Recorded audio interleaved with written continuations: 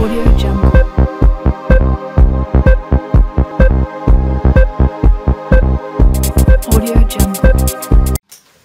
Welcome दोस्तों, कैसे हैं आप सब लोग? उम्मीद करता हूँ बहुत ज़्यादा अच्छे होंगे। तो दोस्तों, आज का जो हमारा टॉपिक है, उसके बारे में सिंपली आपको बता देता हूँ। तो सबसे पहले टॉपिक के बारे में बात कर लेते हैं। तो टॉपिक यही है कि बार बार से जो है कई मेल्स मेरे पास आई है। देखिए कमेंट्स किसी ने नहीं किया वैसे, लेकिन मेल्स काफ़ी मेरे साथ, मेरे पास आई है, आपको मैं दिखा दूँगा लास्ट में। तो वो मेल्स पर क्या क्या बार बार पूछ रहे हैं कि हमारे कुछ लोगों पूछ रहे हैं कि हमारे जो व्हाट्सएप अकाउंट को बैन कर दिया गया है हमारा व्हाट्सएप बैन हो चुका है हम व्हाट्सएप यूज़ नहीं कर पा रहे हैं हमारे व्हाट्सएप को टर्मिनेट कर दिया गया है। इस तरह की बार बार इन्फॉर्मेशन आ रही है तो सीखने वाले हैं इस वीडियो में कि क्यों कर रहा है व्हाट्सएप ऐसा और इसका सोल्यूशन कैसे करें सारी समस्याओं का सोल्यूशन कैसे करें। यदि आप भी जो है पहले पहले से आपका ऐसे कोई प्रॉब्लम नहीं है तो पहले से सचेत हो जाइए आपको वो चीज़ें नहीं करनी है जो इस वीडियो में बताऊँगा ताकि आपका व्हाट्सएप अकाउंट भी बंद नहीं होगा न आने वाले भविष्य में कभी व्हाट्सएप आपका अकाउंट बंद कर सकता है। ये बंद क्यों किया है? किस क्या है ये सोल्यूशन इसका पूरे इस वीडियो में जाने वाले हैं। तो चलिए दोस्तों स्टार्ट कर लेते हैं इस वीडियो को। स्टार्ट करने के लिए वीडियो किसी को सब्सक्राइब कर लीजिए सब्सक्राइब करते ही बेल आइकन को दबाना ना जिससे क्या होगा दोस्तों, आपको हमारे वीडियो नोटिफिकेशन आने सूचना मिलती रहेगी। तो सबसे पहले स्टार्ट कर लेते हैं कि क्या बात है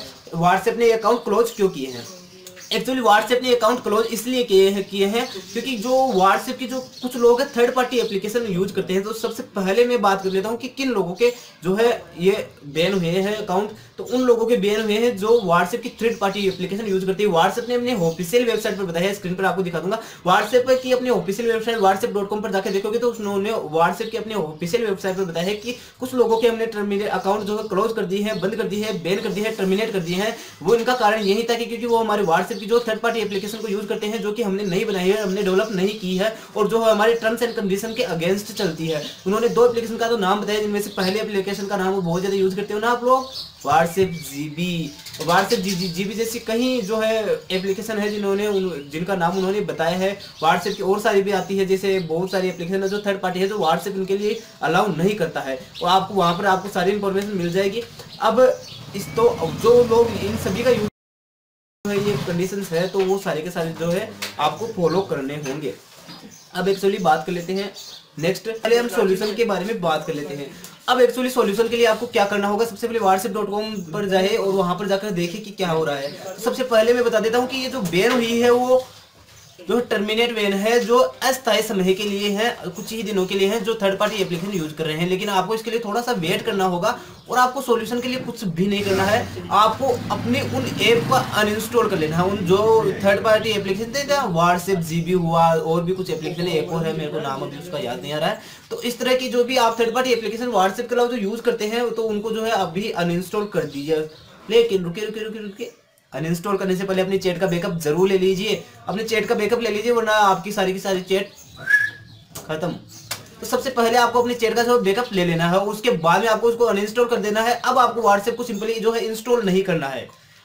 आपको कुछ जो है एक दो दिन का वेट करना है। उसके बाद में जैसे ही आपको जो है अपना व्हाट्सएप अकाउंट ओपन करोगे, वहाँ से जो है अनटर्मिनेट कर दिया जाएगा और जो है स्थायी आपका वापस चलने लग जाएगा। अब आपको वापस अपना व्हाट्सएप अकाउंट जो है व्हाट्सएप डाउनलोड करना है ओरिजिनल व्हाट्सएप डाउनलोड करना है ऑफिशियल साइट से जाकर डाउनलोड करना है। वहाँ से जैसे ही आप व्हाट्सएप को डाउनलोड कर लेते हो, उसके बाद में आपको सिंपली कुछ नहीं करना इंस्टॉल करना है, अपने मोबाइल नंबर डालने और वहाँ से आपका वेरिफिकेशन नंबर होगा, वो रियल नंबर डाले और आपका जैसे एक बार वेरिफिकेशन हो जाएगा तो उनसे हट जाएगा और सिर्फ़ व्हाट्सएप के ऑफिशियल पर आ जाएगा और आपका अकाउंट फिर से चालू हो जाएगा। तो आप बार बार में इस तरह की टेंशन लेना कर दीजिए कि हमारे बैन हो चुका है तो बहुत ही अच्छा सॉल्यूशन है। तो आप इस तरह का जो है काम भी मत कीजिए कि थर्ड पार्टी एप्लीकेशन का यूज़ मत कीजिए। जो है टर्म्स कंडीशन के खिलाफ कभी भी मत जाइए, किसी भी चीज़ के लिए मत जाइए। आप जो कंडीशन से चलिए, बिल्कुल फॉलो करते हुए चलिए। आपके साथ कभी कुछ भी गलत नहीं होगा, वरना इस तरह तो आपके प्रॉब्लम्स आती रहेगी। तो यही था एक छोटा सा सोल्यूशन दोस्तों, इस वीडियो में थी छोटी सी जानकर जो मेरे भाई परेशान हो रहे थे, उनके लिए तो ये वीडियो कैसा लगा नीचे कमेंट करके ज़रूर बताइए। कमेंट में अपनी दिल की प्यारी प्यारी बातें लिखना ना बोले तो दोस्तों, यदि आपको वीडियो अच्छा लगा तो वीडियो को लाइक कीजिए, वीडियो को शेयर कीजिए अपने दोस्तों के साथ। तो दोस्तों, चलिए दोस्तों मैं संक्रांत में नए टॉपिक के साथ। तब तक के लिए goodbye have a nice day